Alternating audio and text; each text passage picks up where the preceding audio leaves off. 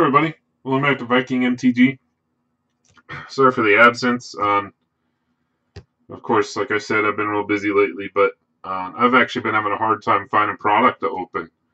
Um, I'm not just going to grab a booster box of Dominaria or whatever. I've done so much of that, so many different uh, existing standard products, and even stuff pretty far back. Um, unless I find something real special, I'm not going to buy a booster box. I'm going to buy my uh, Allegiances boxes from Rudy. Uh, probably going to get a case from Rudy simply because of the price. The price is unbeatable to get uh, a case from Rudy. And uh, I'm just done overpaying. It's that simple. Like I said, unless I'm trading, uh, I'm not going to overpay anymore. Uh, but I got this. I, I have had some decent fun and some decent hits pulling stuff out of these. So it is actually random the packs that come in these. Um, I've seen all different packs in these before. I think I saw a Return to Ravnica pack in uh, one of the ones from the Ixalan block. So it's random what's in these. So let's see what we got. I hope everybody's week's going okay. Um, I am going to pre-release, but it's probably I'm probably not going to go to the midnight pre-release. Um, I am too tired from the week. Uh, there's no way I'll even have a. I won't have a good time at midnight. So I'm going to go uh, team up with Kyle, one of my patrons, and do a uh, two-headed giant on Saturday. And if I can squeeze in another one on Sunday, I will. And of course, I'll show you the results there, and I'll probably get an extra pre-release pack at each one to open on the channel. I love opening pre-release packs, so. Let's see what we got here. Our pack packs all look standard. Ixalan, Rivals, Dominaria, and Core Set 2019. So that's pretty predictable. Uh, way to look at it, that's 16 bucks right there. Uh, so that's that's the majority of the uh, product back at you.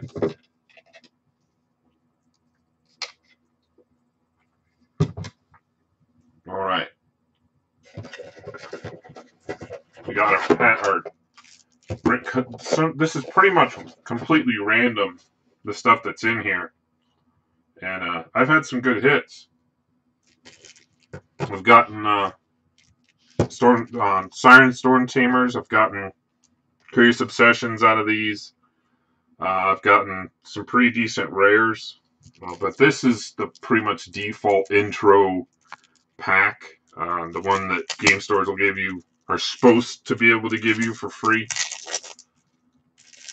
I've heard of game stores charging for these now. Um, none of the ones I know, I, I frequent would do that, I'm sure, but if they have them, would do that.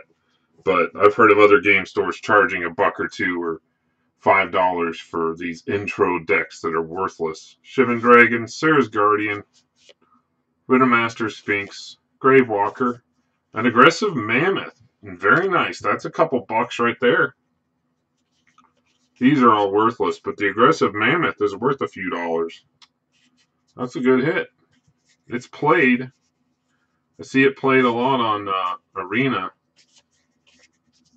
It's actually a deadly card if you're not familiar with it. It's great for mono green Stompy. It's uh, 3 and 3 green for a trampler, an 8 8 trampler, and uh, other creatures you control have trample. So it's great for mono green. I mean, you certainly wouldn't want to play that in any deck where you don't have a lot of ramp. You want to play mono green and you want to ramp into it. Uh, Regal Bloodlords, Psychic Simian, Poison Tip Archer, Heroic Reinforcements, and Enigma Drake. Great uncommons. More basic lands. Tap lands. Satyr Enchanter, Skyrider Patrol, more basic lands. So not too bad. The aggressive mammoths to hit out of there. Uh, I'm not sure what that's sitting at right now. Let's take a look. Uh, I know this and the um, bucket, the one, the green planeswalker. That's the only ones. Uh, that's the only places you can get that card. You can't pull that out of a pack of M19.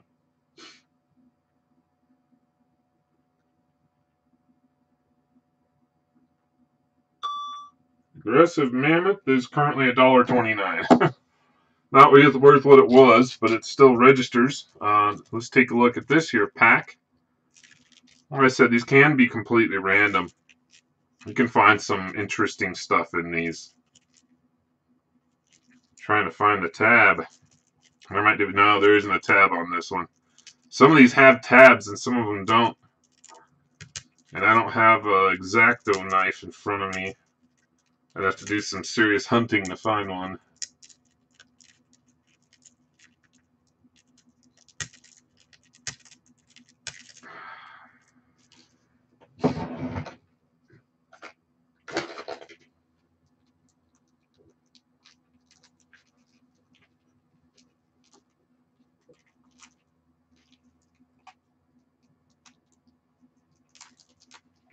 Oh, there we go. I got one open.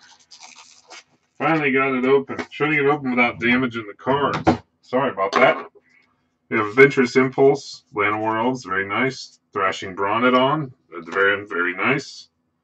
These are got a nice bend to them. Jungle Delver, uh, Grazing Whiptail, Trading Monster Son, Volcanic Dragon, Viashino Pyromancer, good card. Trumpet Blast, Talons of Wildwood, Rabid Bite, Plummet, Naturalize, Elvish Rejuvenator, Druid of Horns, Declare Dominance, Colossal Majesty, Col uh, Colossal Dreadmaw, Blanchwood Armor, bunch of basic lands,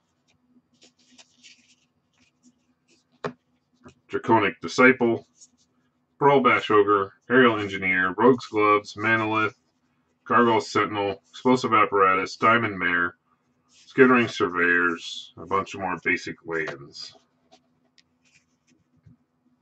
So, so far we've gotten a lot of playable cards, and uh, there's not a lot of value on that worlds, but um, people want them. I know people who will definitely take a Llanowar Elf for their deck, you know.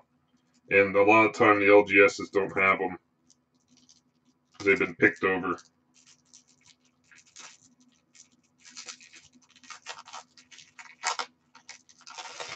Also, don't be that guy who refuses to pay value for com for uncommons that are worth a couple bucks. Don't be that guy. I want to find it in the box of uncommons you have over there. Guess what? They're not in there. Scary Devotion, Gearsmith Prodigy, Exclusion Mage, Divination, Aviation Pioneer, Inwind Mage, Anticipate, Wizard's Retort, good card, Hopped, Founder Sphinx, Negate, Ton of Swamps, there we go. Chart a course. That's a couple dollars right now. That's two, three dollars. Revitalize. Pegasus Corsair.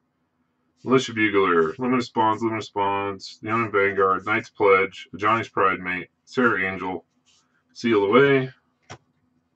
Knight of Benalia. Gideon's Reproach. Martyr of Dusk. Queen's Commission. Boatload of Land. Yet again. I have to finish this up. Sounds like uh, Grandma and the little one are home. All right. Almost there.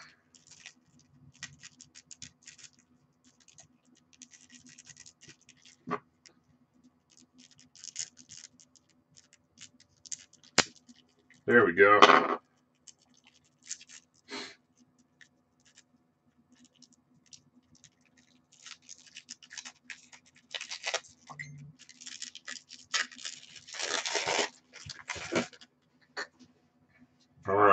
Perilous Voyage, Tormenting Voice, Sparktongue Dragon, Shocks, Lightning Strike, Guttersnipe, Goblin Instigator. There's a Wizard's Lightning.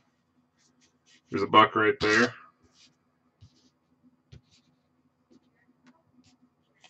Give two Lava Runner, Fanatical Firebrand, Bombard, Hijack, Vampire Sovereign, Skymarch Bloodletter, Reassembling Skeleton, Murder, Macabre Waltz, Gravedigger, Epicure of Blood, two Duresses, bunch of more basic lands.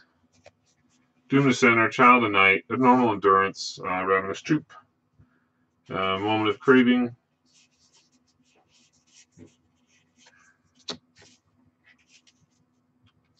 So right there, if you didn't open the packs and straight up sold them, uh, you'd have one, two, three, four, five, six. At least, I mean, this is probably eight dollars right there. Two Land Worlds. So let's see what we get. See if it's worth it.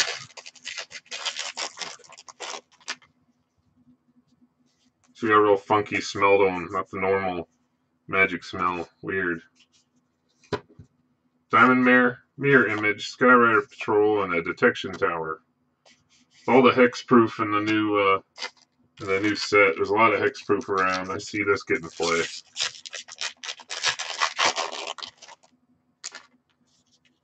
All right. Try and finish this up quick, guys. I got a uh, Spore Swarm, ladies and gentlemen, excuse me. Spore Swarm, Diligent Excavator, Mirari Conjecture, and a foil Champion of the Flame. Cool. Champion of the Flame's awesome. He's fun to brew. He'll never be a successful competitive deck card, but he's uh, he's fun.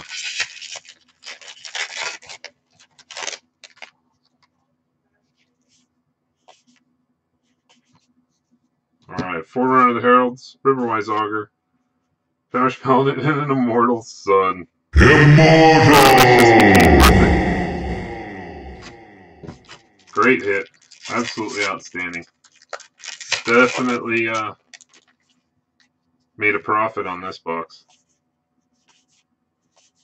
You can make a profit out of such a dirt cheap product. It's a good thing. We have a Stormfleet Aerialist, River Sneak, Savage Stomp, and a Dragon Skull. I'm very happy with this. Um, definitely turned out well. Uh, Mortal Suns around 15, Dragon Skull Summits round 5, and I know that'll go up with Rakdos in the format now. Uh, Detection Tower, probably still around 50 cents to a dollar. And uh, uncommons, of course, you got great uncommons, Ravenous Choop, Wizard's Lightning, Charted Course, Thrashing Brontodon, Aggressive Mammoth. So, um, a lot of great cards here in this product. So, as the professor would say, many Magic the Gathering players want to know, uh, ask the question, is this worth it? Um, it can be if you get lucky. it's that simple. And then we got lucky here. Uh, definitely got lucky on this one. All these cards uh, you see here, with the exception of the Immortal Sun, because I need that for a deck. Um, other than that, everything else here goes in the patron pile. And uh, so all my patrons can expect to uh, hopefully eventually pull these. And uh, including the of Worlds. That'll be a good common to pull. Uh, I hope you guys enjoyed this. Uh, just did a quick little one of these after I scrambled home to get a video done. Uh, and edit it, throw it up for you guys, and have it up uh, hopefully before you hit pre-release tonight uh, well before you hit pre-release tonight. But like I said, I will not be going to pre-release tonight. Uh, I'll be going tomorrow at some point. Uh, just don't. I'm too tired. I don't feel like going and sitting through a three-hour-long pre-release at midnight. I don't know. It's just not my cup of tea tonight. Um, everybody have a great weekend and uh, have a great pre-release. We'll talk to you later. Peace.